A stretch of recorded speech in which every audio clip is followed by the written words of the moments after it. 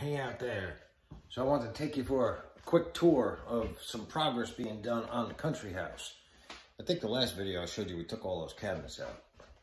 We demoed all that. Gonna put a new pantry over there.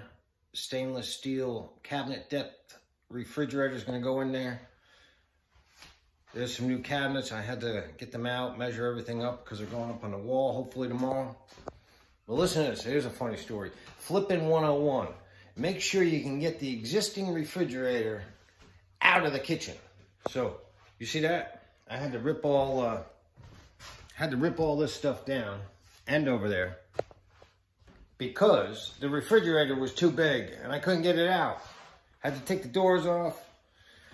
Yesterday, I tried to get the kitchen table out and got stuck over there and had to take the door down. Anyway, check this out. So we were gonna put carpet in the stairs, right? We still may. I think I'm just gonna put a pad down, but you see all the dark dark wood around here? There's all like dark accents. We decided to go ahead and stain that. Look, I didn't do the top yet. I just wanted to, I couldn't couldn't help myself and started staining that. My stepson AJ spent a couple hours washing and sanding and he did all the hard work and then once he left, I told him I was gonna wait for him to stain it and I said, ah, I can't resist, I gotta stain it. And man, I think it's gonna look beautiful.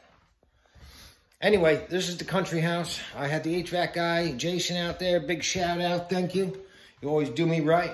Michael was here doing landscaping. Michael, thank you very much. Yard is looking amazing.